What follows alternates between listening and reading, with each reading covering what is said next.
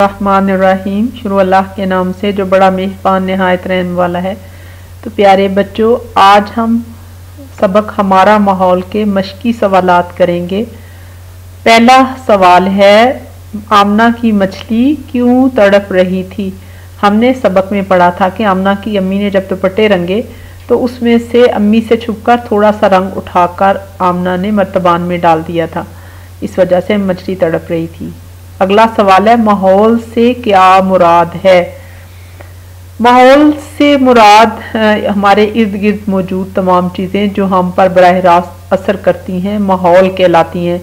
جیسے، ہمیں سانس لینے کے لیے صاف ہوا چاہیے اور ہمیں رہنے کے لیے صاف جگہ چاہیے اور تاکہ ہم بیمار نہ ہوں۔ اور ہمیں پانی جو ہے، وہ پینے کے لیے صاف پانی چاہیے۔ یہ ہماری بنیادی ضروریات ہیں۔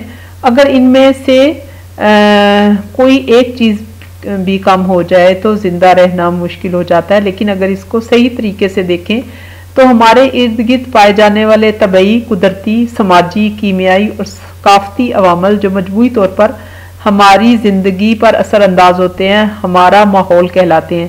اس لیے کہتے ہیں نا، جیسے دوست ویسی انسان ویسا ہی بن جاتا ہے، تو ہمارے جیسا ہم دیکھتے ہیں، ویسے ہمارا رہن سہن، اٹھنا، بیٹھنا بھی ویسا ہی ہو جاتا ہے۔ تو ماحول کو آلودہ کرنے والے کوئی سے دو اسباب بیان کریں۔ ہم نے اس سبق میں پڑھا تھا کہ خود انسان کے پیدا کردہ اسباب میں سے بڑے بڑے کارخانے ہیں جو دھواں چھوڑتے ہیں اور اس دھوئیں میں زہریلے مادے ہوتے ہیں جو کہ ہماری فضا کو گندا کر دیتے ہیں۔ پھر اسی طرح فصلوں کو نقصان دہ کیڑوں سے بچانے کے لیے سپرے کیا جاتا ہے۔ تو اس میں بھی کیمیائی مادے ہوتے ہیں۔ جو کیڑوں کو تو مات دیتے ہیں، لیکن انسانی صحت اور پودوں کو بھی نقصان پہنچاتے ہیں۔ ماحولیاتی آلودگی کی اقسام بیان کیجیے عام طور پہ ماحولیاتی آلودگی کو تین بڑی اقسام میں کیا، تقسیم کیا جاتا ہے۔ فضائی آلودگی، آبی آلودگی اور زمینی آلودگی۔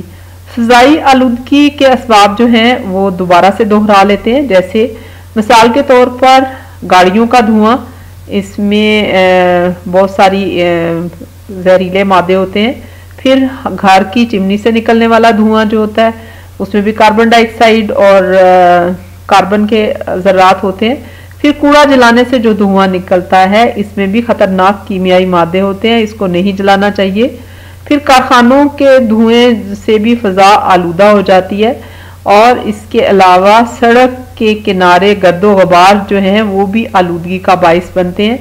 اور پھر فضا میں جو ہوائی جہاز چلتے ہیں، ان کا دھواں خارج ہوتا ہے، جو ہم خلائی جہاز بھیجتے ہیں، ان سے بھی دھواں نکلتا ہے۔ اور پھر آتش فشان جب پھٹتے ہیں، تو ان کے ذرات بھی فضا میں شامل ہو کر فضا کو آلودہ کرتے ہیں۔ اور پھر جب یہ آلود آلودگی جو ہے، یہ اوپر بخارات کی صورت میں اکٹھی ہوتی ہے اور پھر اس سے تیزاب بنتا ہے اور یہ بارش، تیزابی بارش کا باعث بنتی ہے۔ اب ہم دیکھتے ہیں کہ آبی آلودگی پانی کس طرح سے آلودہ ہوتا ہے۔ گھریلو سیوریج جو ہے وہ پانی میں اگر بغیر ٹریٹمنٹ کے چھوڑ دیا جائے تو اس سے پانی میں موجود جراثیم حیضہ اسہال ٹائیفائڈ اور پیچش جیسی بیماریوں کا باعث بنتے ہیں۔ بیکٹیریا جو کچے سیوریج پر پلتے ہیں، پانی میں حل شدہ آکسیجن کا بیشتر حصہ استعمال کر لیتے ہیں۔ اور اس طرح مچھلیاں اور دوسرے جانور آکسیجن کی کمی کی وجہ سے مر جاتے ہیں یعنی انسان اور جانور دونوں کے لیے یہ نقصان دہ ہے۔ پھر اس طرح آلودہ پانی سے اگائی گئی سبزیاں بھی صحت کے لیے نقصان دہ ہیں۔ اور پھر ہم پانی کو کیسے آلودہ کرتے ہیں؟ پانی میں گھر کا کچا پھینکنا ایک بہت ہی بری عادت ہے۔ اس کے علاوہ جانور جو ہیں، ان کا فضلہ بھی پانی کو آلودہ کر دیتا ہے اور بہت سی جگہوں پہ جانور اور انسان جوڑوں سے پانی پیتے ہیں۔ پھر کیمیاوی سپرے کا استعمال جو ہے وہ پانی میں شامل ہو جاتا ہے، بارش کے پانی میں۔ اور جو فیکٹریوں سے آلودہ پانی کا اخراج جو ہے، اگر ان کو صاف کیے بغیر ندی نالوں میں ڈال دیا جائے تو یہ بھی نقصان دہ ہے۔ اب ہم دیکھتے ہیں کہ زمین کی آلودگی، جیسے ہم نے سبق میں بھی پڑھا تھا کہ پلاسٹک کے لفافے اور کچرا جگہ جگہ زمین کو آلودہ کرتا ہے۔ پھر لوگ گھریلو کچرے کے انبار جو ہیں وہ گلیوں میں پھینک دیتے ہیں۔ اس کے علاوہ عمارتی کچرا بھی سڑک کنارے پڑا ہوا نظر آتا ہے اور اسی طرح جو پانی کے اوپر نمکیات آ جاتے ہیں سطح زمین پر آ جاتے ہیں، وہ بھی زمین کو قابل کاشت نہیں بنانے دیتے۔ تو پیارے بچوں، ہمارے اندر ایک اخلاقی آلودگی بھی آ جاتی ہے۔ جیسے آج کل ہر بندے کو حوث ہے، پیسہ اکٹھا کرنے کی، وہ حرام سے آئے، جہاں سے بھی آئے، اور جھوٹ اور منافقت تو یہ جو ہے، ہمیں اپنے اندر سے دور کرنی ہے۔ اور وہ آمن و عامل صالحاتی عمل سے زندگی بنتی ہے، جنت بھی، جہنم بھی، یہ خاکی اپنی فطرت میں، نہ نوری ہے، نہ ناری ہے۔ یہ علامہ اقبال کا مشہور شعر ہے، تو ہمیں اپنے ایمان کو بھی تازہ رکھنا ہے اور اعمال بھی اچھے کرنے ہیں۔ تو اس کے لیے ہمیں علم حاصل کرنا چاہیے، علم حاصل کرو گود سے گود تک۔ اور وہ ایسا کون سا علم ہے جو میرے ایمان کو بھی مضبوط کرے، تاکہ میں اچھے اعمال کر سکوں۔ ہے قرآن کا پڑھنا ترجمے کے ساتھ۔ ہم اکثر صرف عربی پڑھ کر چھوڑ دیتے ہیں، لیکن ہمیں ضرورت ہے قرآن۔